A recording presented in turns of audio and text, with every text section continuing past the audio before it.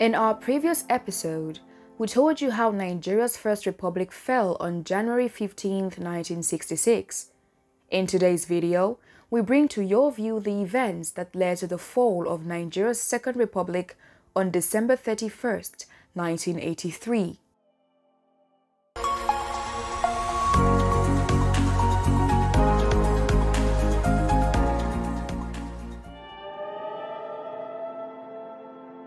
The elections of 1979 saw Alhaji Shehu Shagari emerge as the first executive president of Nigeria. There were great expectations as oil prices were on the high side and revenues were on the increase. During Shagari's tenure, the country practiced a multi-party democracy.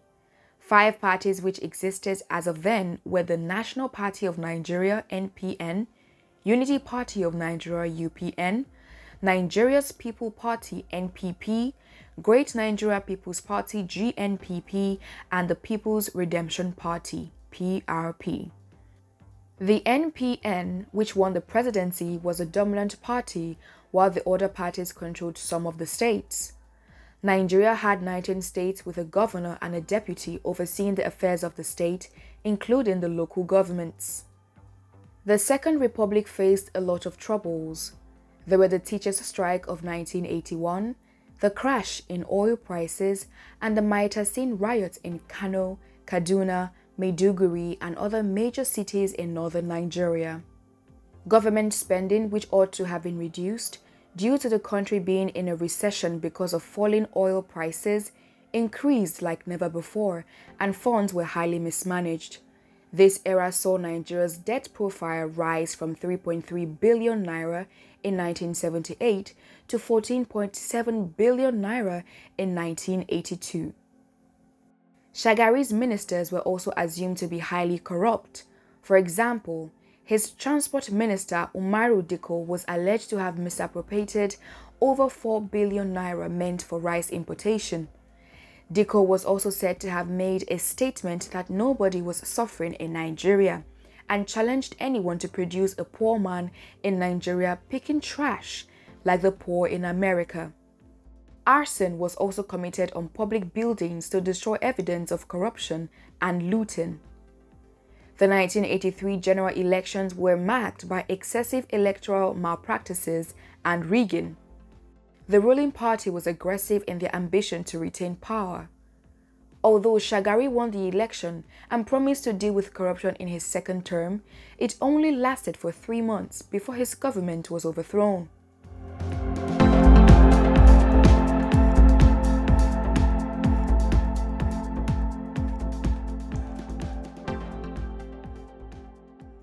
The Second Republic has been described as being prebendal, this means it was a political era where elected officials and politicians felt they have a right to a share of government revenues, using the nation's coffers with reckless abandon to benefit themselves and their supporters. The downturn of Nigeria began during this period. Prior to this, former military head of state General Olusegun Obasanjo had already laid the groundwork for bringing in a civilian government. Obasanjo in a national broadcast, had earlier warned that his regime was committed to bringing about an elected government in 1979 through a peaceful process of free and fair elections. The 50 man Constitution Drafting Committee, earlier inaugurated by Murtala Muhammad, submitted its report on September 14, 1976, after drafting a new constitution that modeled the American system. Also, a 24-member Federal Electoral Commission FEDECO was formed in October of the same year, headed by Chief Michael Ani. Obasanjo inaugurated the electoral body in November 1976 and it became legal in May 1979. The newly drafted constitution was published on September 21, 1978, leading to the lifting of the ban on political activity. As provided by the Constitution, five political parties were formally registered to participate and contest in the 1979 elections, and Alhaji Shehu Shagari of the NPN won the presidential election.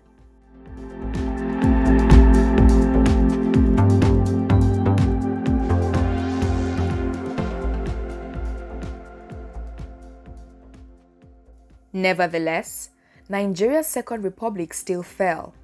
Some of the factors that were responsible for the fall are as follows. Shagari's government provided a conducive atmosphere for fund mismanagement even in the face of economic recession. There was no accountability, contract sums were inflated, and illegal dealings were done with foreign exchange. Forgery, fraud, and embezzlement were the order of the day.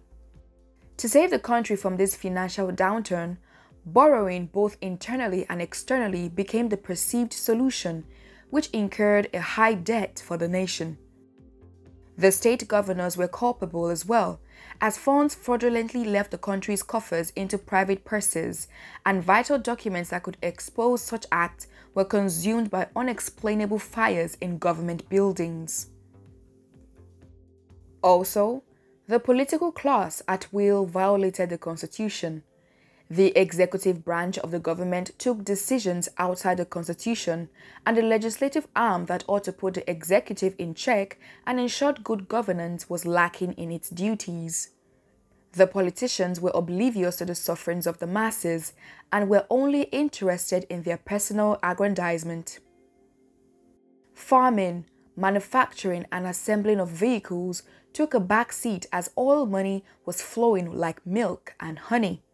Thus, when the oil prices went down suddenly, Nigeria was not prepared. Unemployment was another factor that led to the fall of Nigeria's Second Republic. Due to unemployment, armed robbery and thuggery were rife in the country. On January 17, 1983, Shagari ordered the expulsion of some undocumented West African immigrants from the country. These immigrants, about 2 million people, most of them Ghanaians, were deported from Nigeria on February 2, 1983.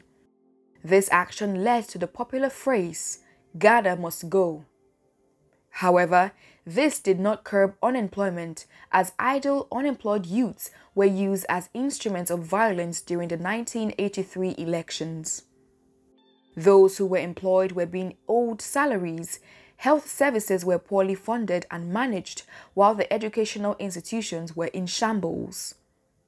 Also, about 1,000 followers of an Islamic cult, Maitatsine, who had rampaged the north for three successive years, attacking religious rivals, were granted amnesty by President Shehu Shagari.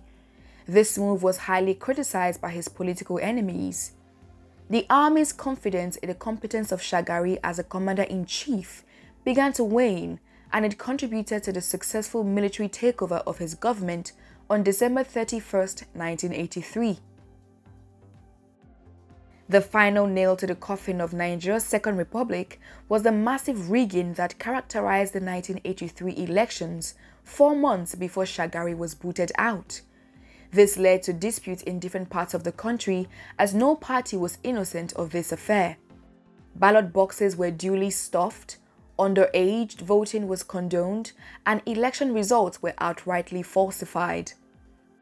Even the FEDECO, which was the electoral body in charge of elections during Nigeria's Second Republic, was not left out of the mayhem which occurred in different states over the announcement of winners. There were back and forth court cases challenging the results, and properties and lives were lost in the process.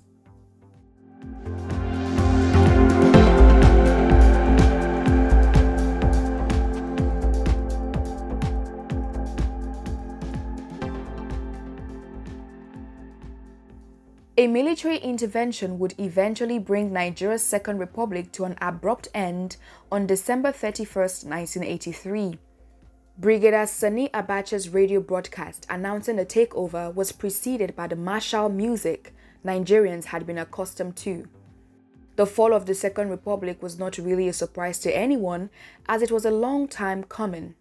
There was discontent among the people, so they welcomed the change with open arms despite Shagari's promise at his second term inauguration to right all the wrongs of his first tenure in office.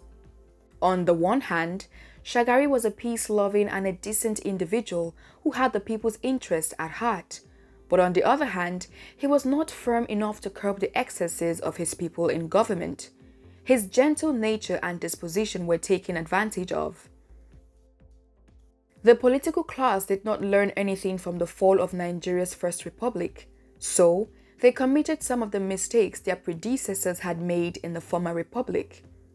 On January 1, 1984, Major General Muhammadu Buhari made his maiden broadcast as the head of state, while Brigadier Tunde Idiagbon became his de facto deputy. The economic problems that had plagued the nation under Shagari continued under Buhari, who instituted restrictions on the press, political freedoms, and trade unionists. Nigerians initially welcomed Buhari's efforts at fighting corruption and improving societal values, but the repressive measures used by his regime along with the unending economic troubles led to discontent among the people. After a year and eight months in office, even his military colleagues who helped him to snatch power from Shagari were fed up with him, and his government was overthrown by his chief of army staff, Major General Ibrahim Babangida, on August 27, 1985.